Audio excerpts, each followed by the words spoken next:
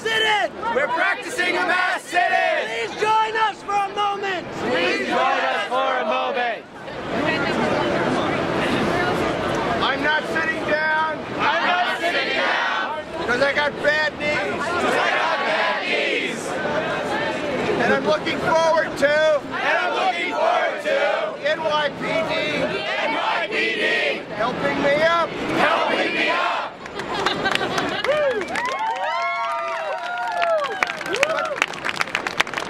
don't you see?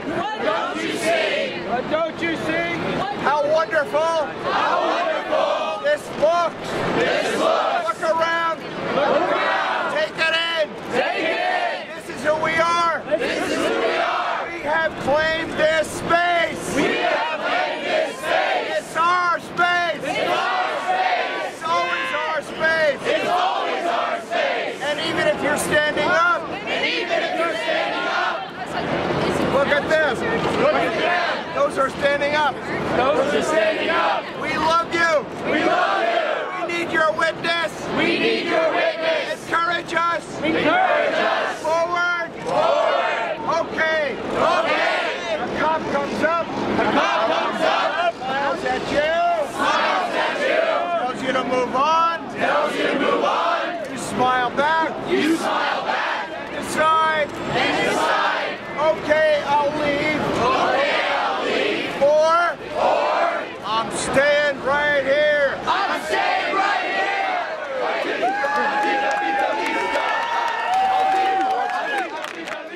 Look, we got involved with this in the beginning because we believed in uh, this call. We believed in, in the possibility of a better world, and I think there's a, every clergy here is willing to put down their body at some point or another and get arrested. Uh, you know, I'm a Christian, and I really believe powerfully in the message of Jesus. And his message was love and justice for everybody, not just for some. And when we institutionalize uh, love and justice for just a few, it's against Jesus. So that's why I have to do this. So uh, I came down to Occupy Wall Street. I was with Occupy Faith.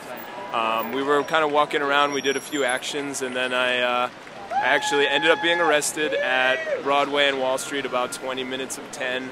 Uh, a group of us decided that we were going to sit down there um, to make a nonviolent um, show of our resistance to empire, and we were summarily arrested very quickly. I voluntarily chose to be arrested because um, I'm a follower of Jesus.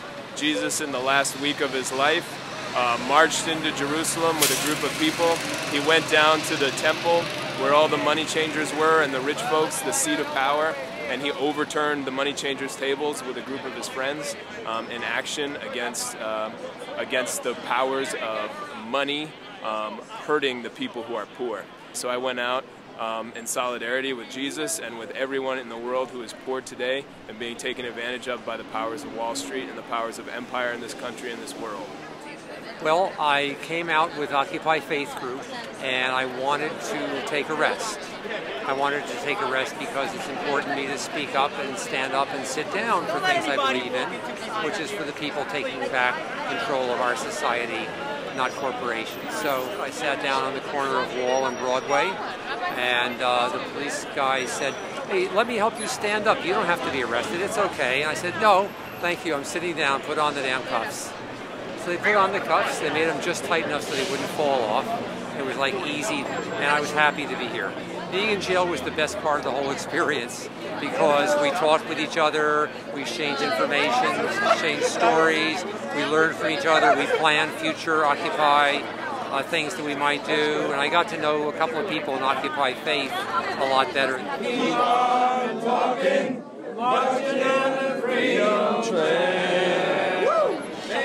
Being in jail is an awesome experience, but I want to encourage other people like me who want to get arrested. If we get a thousand people arrested in a day, that's going to have impact.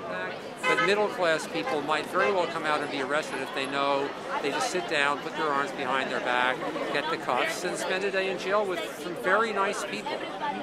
But faith is about power, it's about resistance, it's about how we make stories, it's about what we, not just what we believe in, but what we have faith in. And what I have faith in is a God who is with the poor, who is with the people, and who wants justice and a, um, a reign in this world, a commonwealth of the people and of justice and of beauty and of truth. And that's what I think Occupy Wall Street is doing its little part in helping to bring that about. And I want to stand with that as much as I stand with Jesus and Christianity and anything else that is good and true and beautiful.